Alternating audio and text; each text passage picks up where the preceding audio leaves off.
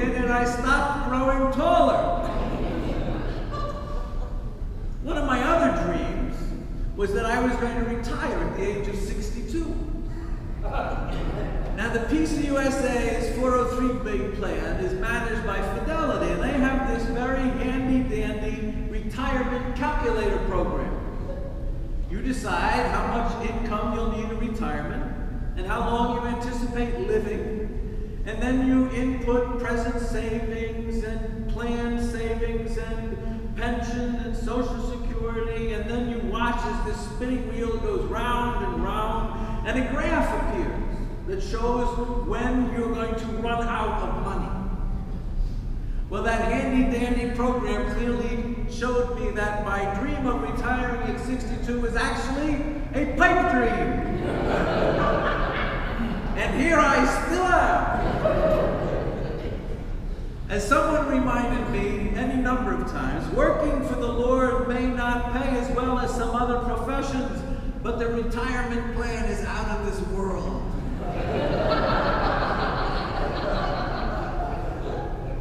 Retirement planning is a popular subject. IRAs, REITs, equities, fixed income annuities, risk and return, life insurance, long term care insurance. We're concerned about whether we're going to have enough money to comfortably live through our final decades. Are our IRAs large enough? Are investment portfolios diversified enough? And underneath all of the other questions is the question Will I run out of money before I run out of life? Retirement planning is certainly a legitimate concern.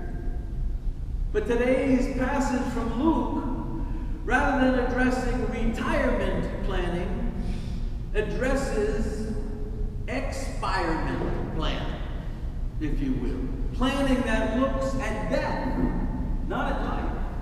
Planning that asks whether we are ready to expire, not retire. Don't get all depressed on me, please. Jesus tells this parable of a rich man whose land produced abundantly. His first century agricultural IRAs were fully funded, literally overflowing. So, what do I do? I have no place to store any more of my crops. Now, with very seemingly rational logic, he decides he's going to tear down the old barns and build bigger and better ones. So, then in retirement, he can really relax, eat, drink, be merry, and play lots of golf. But God has not one iota of regard for those economically logical plans. You fool. This very night your life is being demanded of you. And all of that you've prepared, whose will they be now? Jesus concludes the parable with a flat out warning that the same fate is in store, he says, for anyone who stores up treasures for themselves but are not rich toward God. God wants us to be as ready to expire as we are ready to retire. Calling each of us to be rich toward God, prepared for the end of life, so that what might this kind of expirement planning include? Well, we don't have any financial plans, but here's a couple of steps. First is the step is the realization that wealth is not happiness. Despite the many times we've heard that money can't buy happiness, deep down, most of us continue to believe that if we only had we would in fact be happy. If we make 35000 a year, we're sure that joy will be ours with a salary of 70000 a year. If our salary is 100000 we're convinced that our needs will be met with an income of 200000 and the sad truth is that no amount of money can guarantee happiness. And not even buku thousands of dollars a year are a cure for misery. So, first off, expirement planning should lock in the realization that money can buy lots of stuff, there's no doubt about it. but it cannot buy us peace of mind and soul. Step two a decision to share resources, not hoard them. The Marquis de Lafayette was a French general and politician who would have fit into the same social class as the rich man in this parable. As you remember, no doubt he helped George Washington with the American Revolution. And then he returned home to France and resumed his life as a master of several estates. In 1783, the harvest was a poor one. But the workers of Lafayette's farm still managed to fill his barns with wheat. And they said to him, The bad harvest has raised all the prices of wheat. This is a great time to sell and to make money. And Lafayette, though, was thinking about all of his neighbors, all of the hungry peasants. He says, No, now is the time to give. A good expirement planner knows that resources should be shared, not hoarded. Abundant harvests invite gift giving, not barn building or profit taking.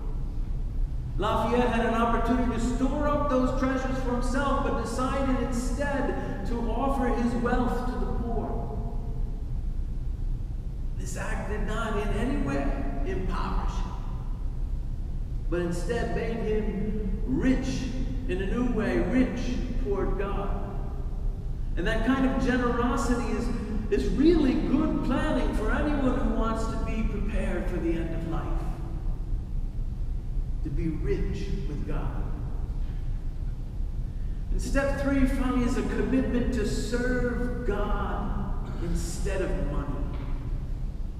The author Robert Fulghum has written a slew of best selling books, beginning with All I Really Need to Know I Learned in Kindergarten. How many have read that? A whole lot, right? Well, in fact, he has more than 17 million copies of his books in print. Been published in 31 languages and 103 countries.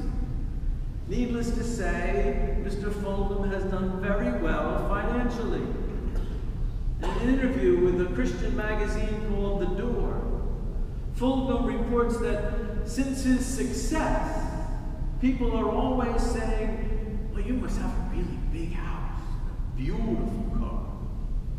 And he responds, No, I have the same house, same car, same friends, same wife.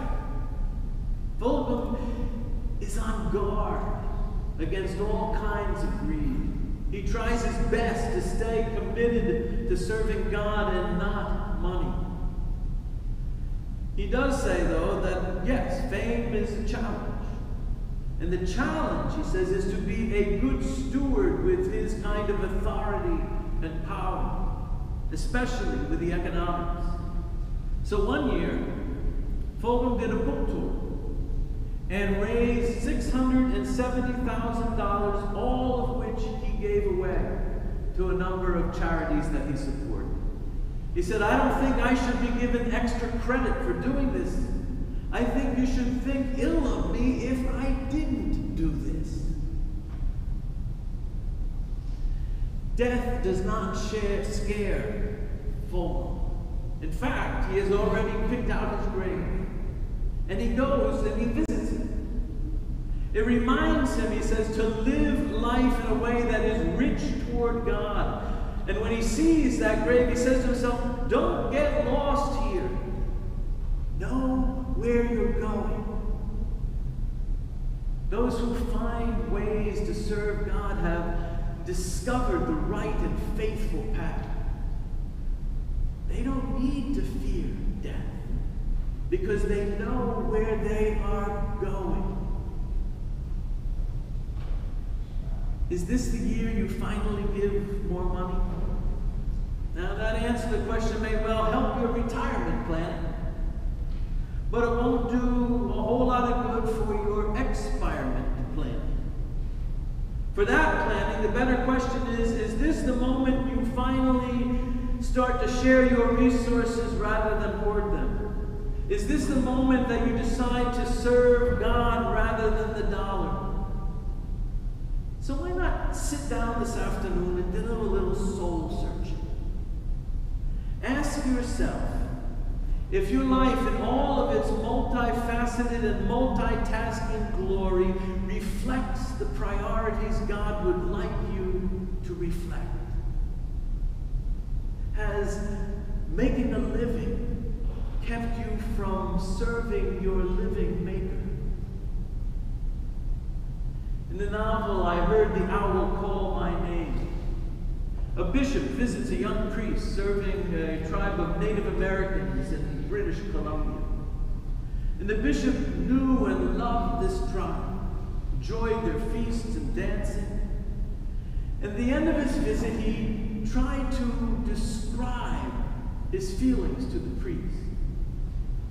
He said, Always, when I leave this village, I try to define what it means to me, why it sends me back into the world refreshed and confident.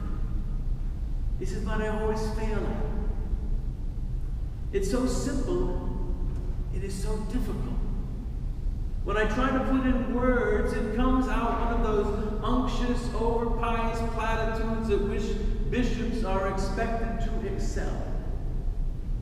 But when I reach here, for a moment, I know that for me it has always been easier here, where only the fundamentals count, to learn what every man must learn in this world. And what is that? asked the young priest. And the bishop said, To learn enough of the meaning of life to be ready to die. Expirement planning. This cross, standing in our midst, is about expirement planning. So is this table. About ultimate things. About a love that counts no cost too dear. About seeking first God's will. About costly sacrifice for others. About obedience in the face of difficult decisions. About finding life by losing it and about rejecting the, the lure of the riches of the world in order to be rich toward God and to be in connection with our source and our destination. Thanks be to God.